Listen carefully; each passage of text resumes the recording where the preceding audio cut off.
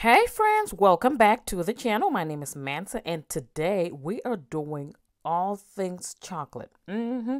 You guys are getting five chocolate recipes that I have featured on this channel and I have put them together for your convenience. The holidays are coming up. Put this up on your TV, save it for later and thank me as well. You're going to get different types of chocolate flavors going on in these different recipes. Butterscotch, you're going to get some chocolate cherry. You're going to get triple chocolate, you know, chocolate peanut butter, name it, you got it over here. So if you are a chocolate fan like me, let's get right into today's video.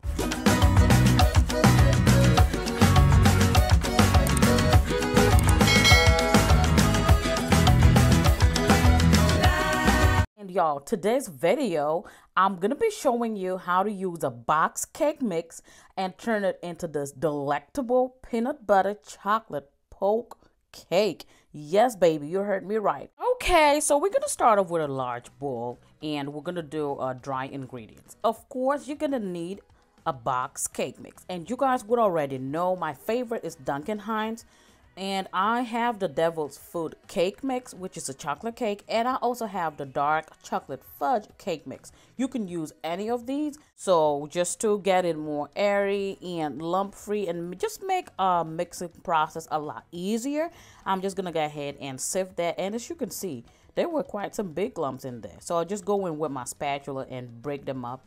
Now, the second dry ingredient we're going to be using today. You need some instant chocolate pudding mix and this is the 3.4 ounce pack.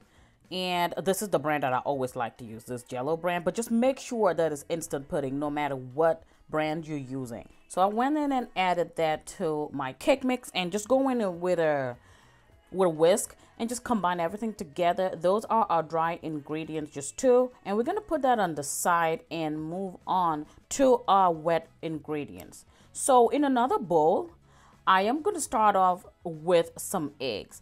Now, the recipe calls for three eggs, and most of the time you will see me add an extra egg, but I am not adding an extra egg this time, and I'll tell you why, and it's gonna come out just as perfect. So going in with my whisk just to, you know, break up those yolks and all of that, make uh, whisk that really good. And the recipe on the back of the box calls for half a cup of vegetable oil. I am going to add just that because vegetable oil is really important for chocolate cakes oils in general. Make your chocolate cake really really moist. Now i am to add an extra one fourth cup of melted unsalted butter the butter adds more flavors while the oil will bring it more of that moisture, okay? So now to replace the cup of water, I'm going to be using one cup of buttermilk at room temperature. We already know we are not doing water at all. And this is the reason why I did not add an extra egg. Next, I'm going to be adding about one teaspoon of vanilla extract to bring in all those flavors together. And just go ahead and combine it with my whisk. Now you will realize that because I'm using buttermilk, this mixture is going to get thick and so will the batter. But do not worry, that's where all the moisture and the deliciousness is going to come from. Now it is time to combine our dry and wet ingredients together. And by this time, please make sure that you're preheating your oven at 350 degrees Fahrenheit because this just takes a few minutes and you're done. Now going in with my hand mixer, I am just following the instructions on the back of the box, which is to beat this on low speed for 30 seconds and then on medium high speed for an additional two minutes. So that's all I'm doing here. This is the only time I follow the instructions on the back of the box. Now you can see my batter is super, super thick. You can see that from um, my beaters. Now it is time to bake. I am using a 9 by 13 baking pan and I'm going to use some pan baking spray which already contains flour to just you know lightly coat that and go in with my silicone brush to distribute that. This batter is so thick y'all. It's almost like a pound cake batter and that is all because of the buttermilk that we used instead of like a lighter version like just ordinary whole milk. But don't you fret, it's gonna come out just fine and it's gonna be airy just the way we want it So once we get that all in, level it out as much as possible, and then we're gonna bake at 350 degrees Fahrenheit for about 30 minutes or until a toothpick inserted in the middle comes out dry. And here we go. This is out of the oven right now. You will see that the sides of the cake will begin to pull away from the pan towards the middle. This is an indication that you're done. So let it cool down for about 10 minutes and we move on to the next step. We're going to make our peanut butter mixture. Using only two ingredients, uh, creamy peanut butter and uh, sweetened condensed milk. Now I am using Jif, but feel free to use any um, creamy peanut butter of your choice. The main the key word here is creamy okay? So because it's easier to blend it. So i'm to pour in one can. This is a 14 ounce can of condensed milk the sweetened one. And we're just to combine these two ingredients. These this is to be what we would pour over this cake. Because remember this is a poke cake. So my cake just came out of the oven. While it's going to rest for about 10 minutes i'm just going to go ahead and combine this. And this is what we're working with. Now let me tell you this mixture right here try not to eat all of it. It was so good. So so delicious. So now our cake has rested for about 10 minutes. I'm going to go ahead with the back of my uh, wooden spoon to poke holes all over the cake. This will allow the cake to just absorb all of that peanut butter mixture that we just made and it would penetrate in there and just make sure that you're not going deep onto the bottom of the cake okay?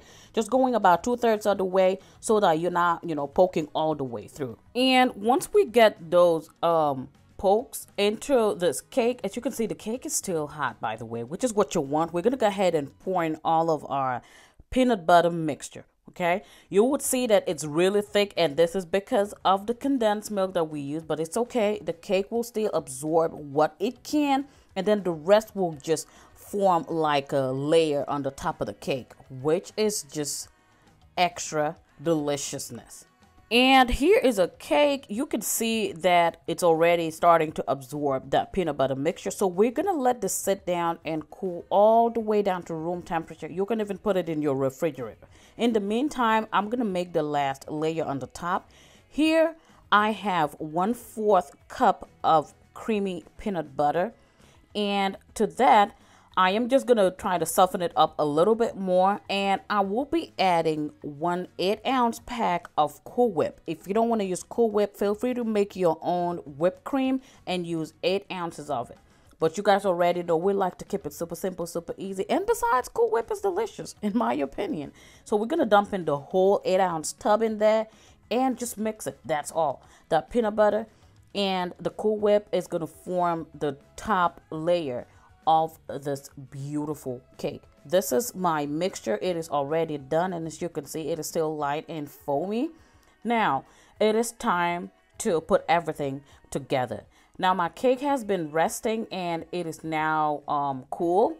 Now I am gonna go ahead and just dump the the Cool Whip mixture on the top. As you can see, it has just formed this nice crust over the top with the condensed milk. And y'all, it is so delicious. Let me tell you, it is so good. Try it. Do not take my word for it.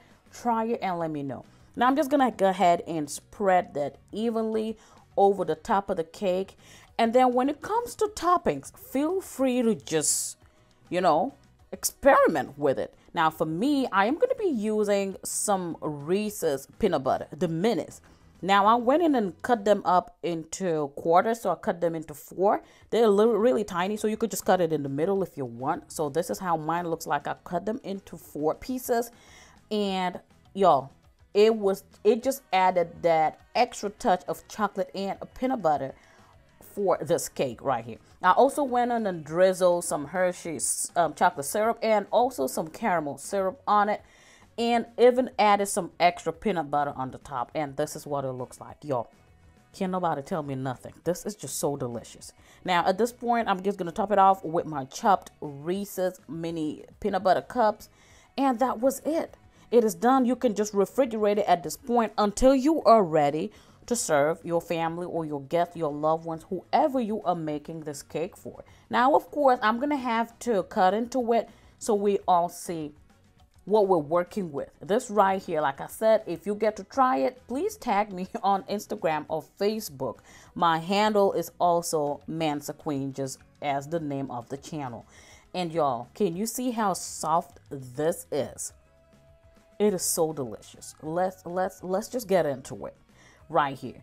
And the layers were so perfect. It gave me the right amount of peanut butter and a chocolate at the same time. And the cake itself was so moist, super, super soft, and I am loving it. Well, hello, beautiful people. Welcome back to my channel. As you can see, today we're going to be making a very soft and fluffy chocolate cake.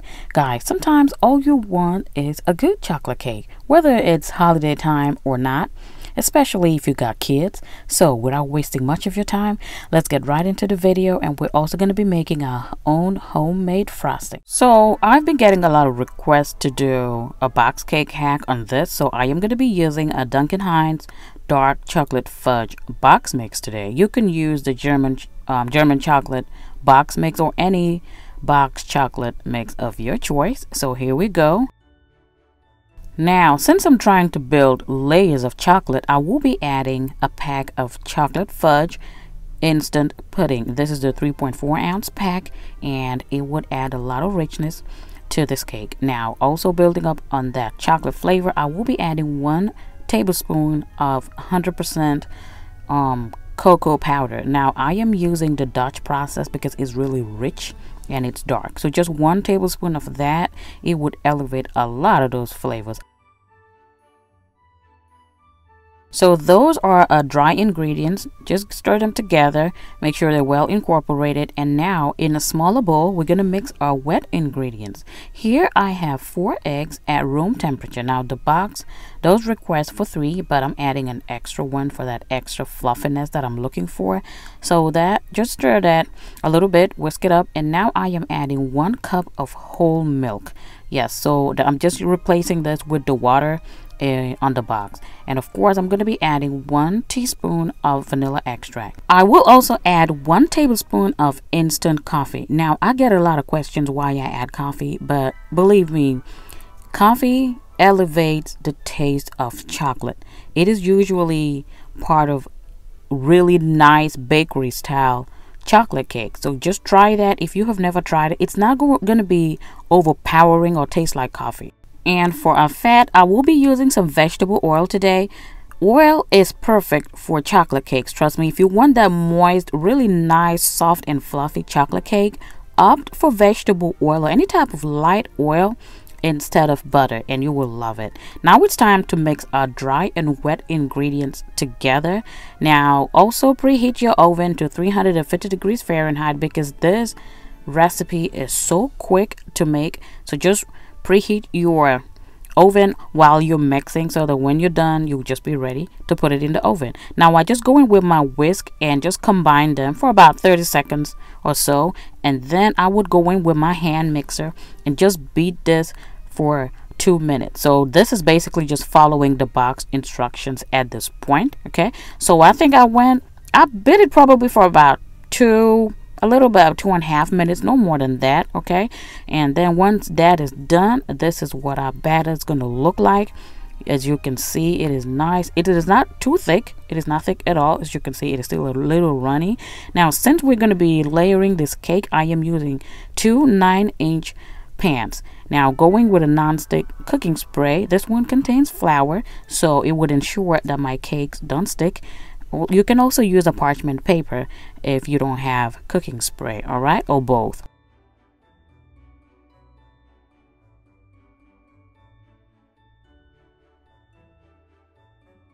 Now, isn't that satisfying to watch?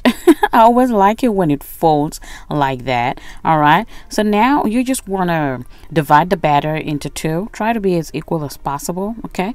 And then I'm just going to shake it, pop it, drop it to release extra air bubbles. And into our oven it goes 350 degrees Fahrenheit for 25 to 30 minutes. In the meantime, we're going to go ahead and make a chocolate frosting. Here I have two cups of whole milk. Yes, guys, this is something that we're going to put on the fire for a little bit. So stay with me. I am adding one cup of sugar to that and also half a cup of that Dutch processed cocoa powder. Really nice and rich And to thicken our frosting, I am going to be using about 4 tablespoons of all-purpose flour. You can also use cornstarch if you do not have all-purpose flour at home. Now, all the ingredients that I'm using are going to be listed in the description box below. A lot of people ask me, just simply click on the title of the video a text box will collapse and that is the description box okay click anywhere on the title of that video now I have added some butter to this and now I am putting it on the fire and you want to keep stirring constantly I am using my Kerrygold salted butter and I ended up using six tablespoons of butter. Just keep stirring it and you would notice that it will thicken up. The reason why you want to keep stirring is you not want the flour to lump up even though we have already um, mixed it. Now this is the finished product.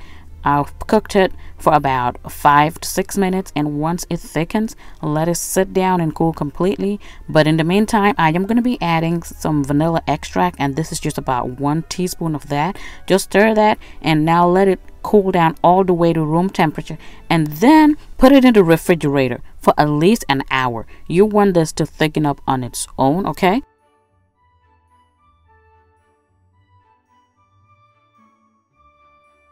This frosting is so nice and easy. So now you want to put it in the refrigerator to cool down completely. And in the meantime, our cakes are out of the oven. Look at that beauty.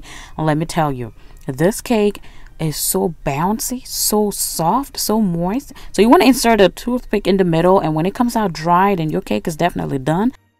So you just want to let it cool down all the way to room temperature. Now you can see that mine kind of rose a little bit over the top. So I have to make sure that I cut off that part just to um, make it more seamless when I'm layering the cake. So that's all I'm doing. If you were enjoying this video, please go ahead and support your girl by clicking on the like button. Give it a thumbs up because it really helps me. It encourages me to do more for you guys. Thank you so much. And if you're a first timer here, you are absolutely welcome. My name is Mansa Queen and the purpose of this channel is to make cooking more enjoyable and less of a chore. So now as you can see, I'm just going to go ahead and frost my cake.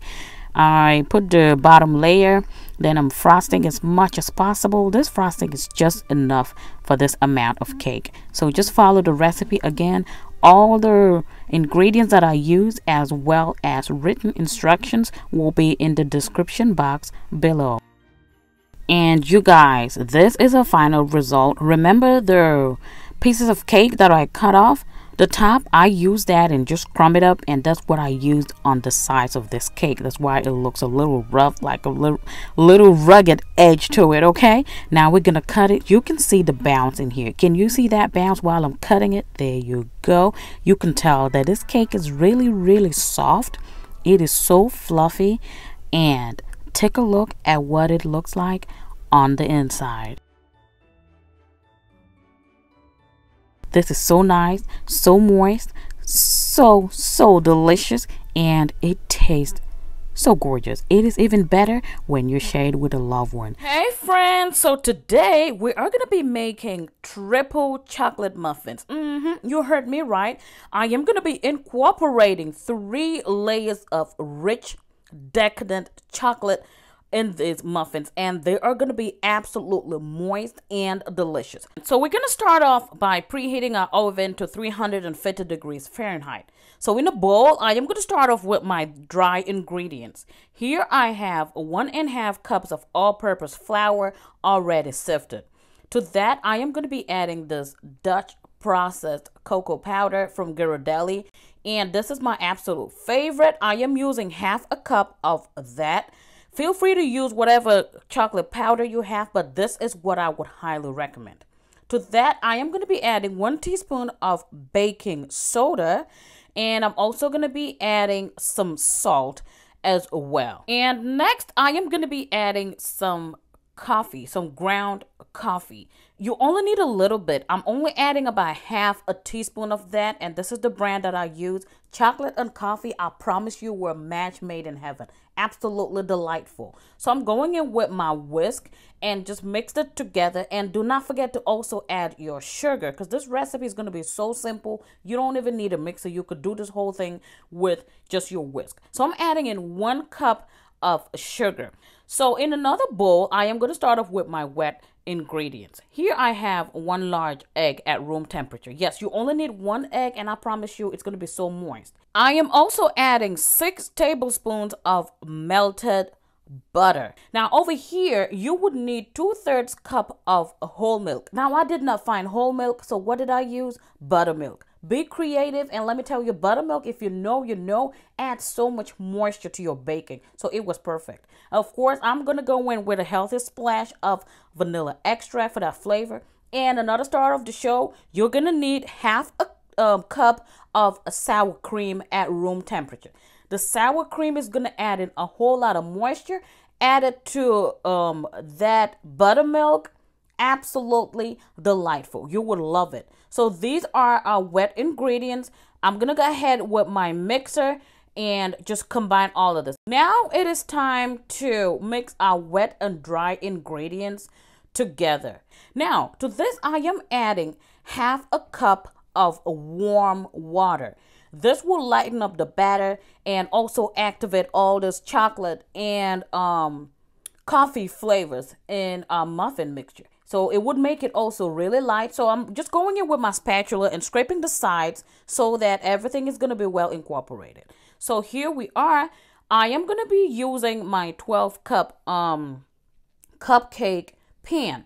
And I'm going to reinforce that with my pan baking spray, which already contains flour. Then go in with my silicone brush and just, you know, rub it all over just so my cake will come out easily. If you don't want to do this, just simply line it with some um, cupcake liners and you should be good to go. So I just go in and scoop it into my prepared pan. Remember, our oven is already preheated to 350 degrees. This recipe is so simple, so easy. You can be done in minutes. And you guys know cupcakes don't take too long to bake. Also, I forgot to mention you can add your chocolate chips to your batter before scooping it in. I am going to add mine right now. Into our oven it goes for 20 minutes at 350 degrees Fahrenheit. In the meantime, I'm going to start off with my simple chocolate frosting, okay? I am adding in some salted butter. I ended up using one stick, which is eight tablespoons of salted butter. Once I get all my butter creamed in, I am going in with my powdered sugar. So I end up using one and a half cups. You can add up to two cups. So you would also need, of course, some chocolate powder. Not a whole lot. I used two tablespoons of the same Ghirardelli dark processed chocolate powder. And then also I went in with three tablespoons of heavy whipping cream. If you do not have that, just use regular whole milk. And then what you want to do, you want to beat this until the sugar is dissolved and everything is well incorporated. I also went in with some almond extract and this right here was the bomb. It just gives this uniquely complex flavor which I absolutely love. You can feel free to use vanilla extract or any extract of your choice. So this is what it looks like. I'm going to go ahead and transfer it into a piping bag because of course I'm going to be using it to frost the muffins. Now here we go. My cupcakes are all done and they have rested. They are cool to the touch. And can you see the chocolate chips melting really nicely on the top. Let me tell you, if this is not decadent, I don't know what this is. The muffins on their own are so delicious. You really do not even need the frosting. If you want to cut down that sugar, feel free to omit the frosting. But of course, I'm going to frost it up for you guys because I know we enjoy all of that. This is our final product so beautiful. You could do this with your kids. You could do this with your grandkids. It's so simple, so easy. You could have this any day of the week. And can you see what the inside looks like? You can see those chocolate pockets peeking through. That's why I said it's layers and layers of rich decadent chocolate. Super soft, super delicious. Well, hello, beautiful people. Welcome back to my channel. My name is Mansa, and in today's video, we're going to have a fun treat and make some chocolate cherry cupcakes. Mm-hmm, you had me, girl. It is so delicious, and we're going to make a very simple buttercream cherry frosting and of course top it off with some cherry on top so we're starting off with a duncan hines Devil's Food Cake Mix. Now, you can use any chocolate flavored cake mix of your choice. You can use the regular Duncan Hines chocolate cake mix if that's what you have.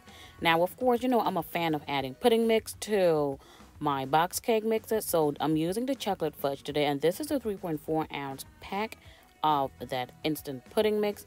Now, in a large bowl, we're going to start off by sifting my cake mix. A lot of the cake mixes come out very lumpy, so I find it very helpful to just sift it out. It helps to just aerate the mix, you know, and get it all incorporated more easily. And then I will add the instant pudding mix. It's usually not lumpy at all, so I just go ahead and dump that in. Using a spatula or whisk, just combine everything together and set aside. Very simple and easy. Now, in another bowl, we're going to start with our wet ingredients. Here, I have four eggs at room temperature. As you guys know, this is an extra egg because the recipe does ask for three eggs. That's all. So going, going in with a whisk, I'm just going to try to break this up a little so that it will be easier when I go in with my hand mixer. Now, this is what the instruction um, asks for. It asks for one cup of water and one uh, and half a cup of, of vegetable oil. But you already know we're not following the norm. All right, so I'm going to use the half a cup of vegetable oil that it does request for because oil makes cakes very very soft and moist. However we're also going to add half a cup of melted unsalted butter. I always like to double the fat because of all these additions. And butter just gives a more complex flavor as well. Now here i am replacing the one cup of water with half a cup of half and half because i'm doing a chocolate cake.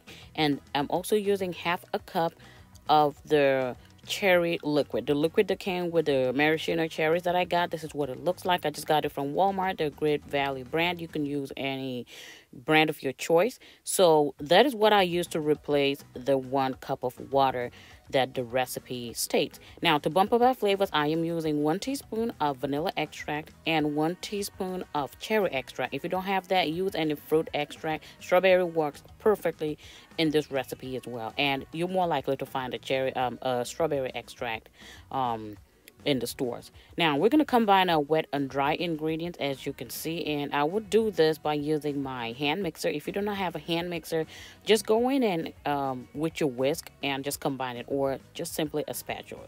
Now going on low speed I would just combine all the ingredients and then I will increase my speed to medium high and just beat it. Now very important whenever I make um, chocolate cakes I always like to add coffee. So this is my instant coffee. I just used it to make one fourth of a cup of coffee. So just if you have any prepared coffee from leftover from breakfast, just warm it up. Now, as you can see, very important point. This time I am using warm coffee. I actually just made it. So it was actually hot.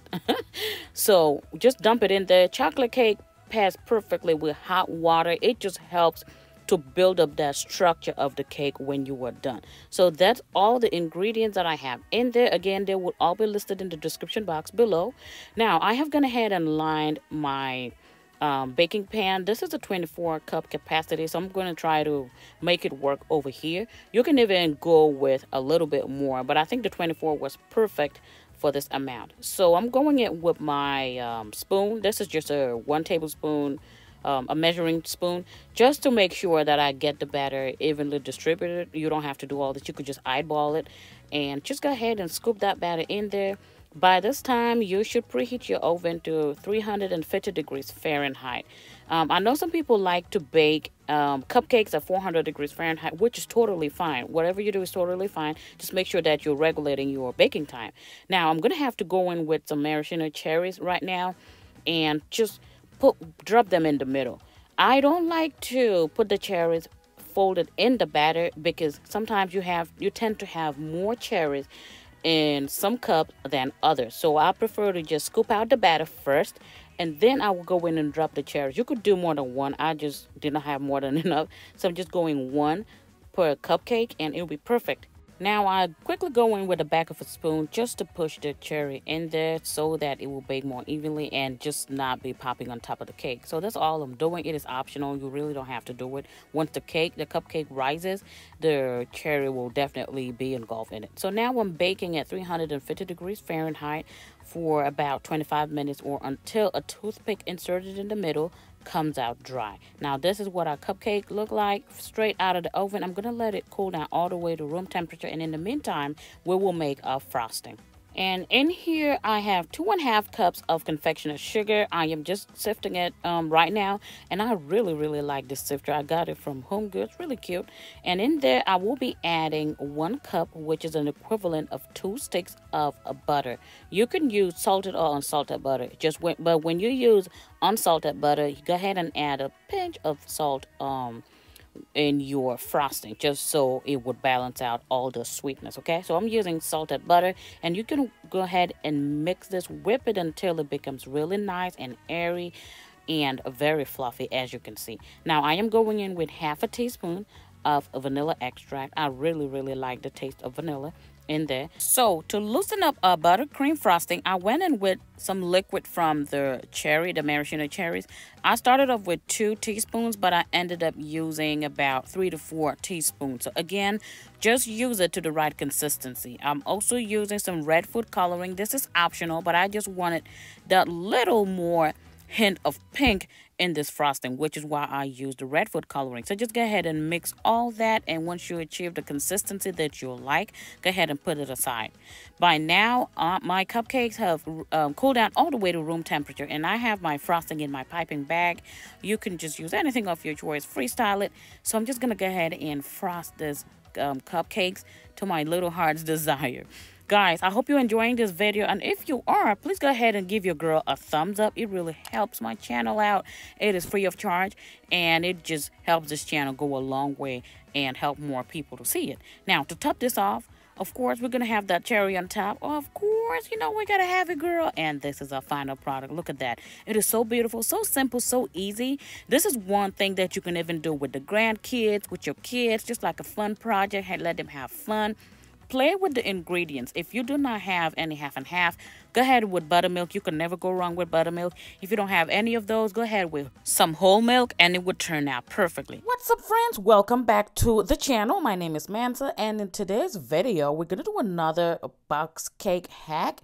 And this time we are making a butterscotch chocolate chip cake. Mm-hmm. You heard that right. Look at those chocolate chips picking through. So delightful. Let's get into the video. We're going to start off with our dry ingredients in a bowl. So today I am using Duncan Hines Perfectly Moist French Vanilla Cake Mix. If you don't have this, just simply use the Duncan Hines Classic Yellow Cake Mix. They use the same ingredients, so you're technically just gonna follow the same recipe, okay? All right, so for today, I just opt to use the French vanilla because it's been a while since I worked with it, all right? And per usual, I'm going to start off by sifting the cake mix to get rid of all the lumps that are in there and also just to aerate the flour mixture and just make it easier to work with, right? And then the second dry ingredient today, it's going to be this instant pudding mix, which is the butterscotch flavor. If you don't have that, you can use the French vanilla, but you're going to be missing a huge part of this recipe. So yeah, I am using this Jello butterscotch instant pudding mix and y'all it's gonna give it that slightly brown color and just so much flavor. And it pairs so beautifully with the chocolate chip. Trust me on that one. Yeah just whisk to incorporate and then those are our dry ingredients. We're gonna put it aside and then in another bowl, we're going to start off with our wet ingredients. So here I have four eggs at room temperature. The recipe typically requests for three eggs, but I added an extra egg for more richness. And in place of the one cup of water, I'm going to be using one cup of heavy whipping cream. And it's going to add so much deliciousness. Also, I am adding one fourth cup of vegetable oil. So just a little bit instead of what the recipe asks for. And then I'm using half a cup, which is one stick of melted unsalted butter. And this pairs so well with the oil. And then I would add a dash of vanilla extract. Again, all the ingredients I use will be in the description box. I would leave a link to the direct recipe on the website. Once you click on it, it takes you directly to this particular recipe. And feel free to check out more recipes on the website as well. So now it is time to mix uh, dry and wet ingredients together. And then I would go in with my hand mixer. You can use a whisk to do this if you do not have a hand mixer, but it's just going to take a little while. So here I follow the instructions at the back of the box, which is to beat on low speed for 30 seconds and then beat on medium high speed for um, an additional two minutes. Do not forget to scrape down the sides of your bowl. You can see that the mixture is becoming a little brown, and that is because of that butterscotch um, instant pudding mix that we added in there. But do not worry, it's going to be so perfect. I know y'all are like, Mansa, you said chocolate chip. Where's the chocolate at? All right, here it is. I am using one cup of chocolate chips. And y'all know this is the brand that I like this Ghirardelli and this is the Dutch process. So it is dark and very very rich. So I am just tossing it in about two tablespoons of all-purpose flour. And the reason I do this is to make sure that the chocolate chips do not just you know sink to the bottom of the cake we want them all suspended within the cake so that each bite is going to be full of that chocolatey flavor. So that's a good tip right there. And now I'm gently folding in the coated um, chocolate chips into my batter. It is now time to um, prepare a pan and I am using um, Pam baking spray and this already contains flour and I am using a Bundt pan today. This is about a 10 or 12 cup baking pan and it is perfect for this recipe. Make sure that you go in and with your brush and brush into all those nooks and crannies so that your cake comes out perfect and beautiful. So yeah, pouring all that good batter into the cake and by this time, I have already preheated my oven to 350 degrees Fahrenheit because this takes such a little time to put together. It just takes a few minutes to put together and then you are ready to bake. And once I dump it all in there, I go in with my spatula to, get, to try to get everything um even as possible. This is a thick batter by the way because of because I used the heavy whipping cream. All right, so I'm popping it, dropping it, you know how we do it. And now we are ready to bake. So into our oven it goes. We are baking again at 350 degrees Fahrenheit and we will do this for 40 minutes or until a toothpick inserted in the middle comes out dry and clean. In the meantime, I'm going to go ahead and start off with our chocolate glaze. So in a microwave safe bowl, I'm going to add in some chocolate chips. I'm also going to use one cup of chocolate chips and this right here is the semi-sweet chocolate chips okay? So it's different from the one i used um in the cake okay? And now to that i am adding half a stick of butter. This is salted butter by the way. I am adding half a stick of butter and i am going to pop this in the microwave. I am starting off with one minute and 30 seconds and then once it comes out i would use my spatula and just go in and um, stir everything in to get it to melt and then I would pop it back in at like 30 second intervals until it is nice and melted. Mine only took a little over two minutes and it was all melted. And just go ahead and combine everything and as you can see it forms this really really thick glaze okay? So this is kind of too thick for me. I wanted a more pourable glaze. So I am going in with some heavy whipping cream and I went in with two tablespoons of that and then once I mixed everything, it was light enough for me to be able to pour it over a Bundt um, cake once it comes out of the oven. And this is the consistency we're working it eh, with, and it's perfect. So now you would notice that it is still warm, so you want to let it sit down and cool. And at this point, I also decided to add a little bit of vanilla extract, just a dash, and mix it all together. And we're done. We're going to put that aside to cool down. And just in time, our cake is out of the oven. It's been 40 minutes, and boy, is it beautiful. Look at that. That crumb on the outside is so beautiful. It makes me so, so happy. Y'all, it is so hot right now, so I'm just going to let it sit in the pan and cool down. I let my cake cool down in the pan for at least 30 minutes to an hour before I invert it to um, cool it down further. So as you can see, I coated this pan really good. It slid off so good and the cake was so perfect. You can still see the peaks of chocolate chips all over the cake, which is what I'm here for. So I let the cake cool down all the way to room temperature before we move on to glaze it. How beautiful is this? So now it is time to glaze. The glaze is cool and the, the cake itself is also cool to the touch. So I'm just going to go ahead and pour this glaze on the cake to my heart desire. And by the way, the amount of glaze we made was perfect for the cake. So I didn't have any left over because sometimes I have leftovers from, from the glaze and it just wastes. But this particular one is just perfect for it. And I am happy about that. If you guys are enjoying this video, please show me some love by hitting on that like button. It lets me know that you enjoyed the video and it also, you know, helps the video to be pushed out so that more people can see the recipe and benefit from it. Also, check out the description box below. Click anywhere on the title of the video. That would open up a text box. That's the description. It has a link to the direct recipe. It has a link to the website and other useful links. Now, I'll let my glaze sit and harden up a little bit for about 30 minutes before I cut into it. And boy, look at that shine from that butter. It is so delightful. Now I'm going to cut into it as usual so we can see what we are working with and boy was it perfect. You can see the chocolate chips suspended all over the cake and that glaze was perfect. The crumb on the outside the bomb. Y'all let me know if you get to try this. You can tag me on instagram or facebook. My handle is mansa queen. And until i catch y'all in the next one stay safe. I love you all. Bye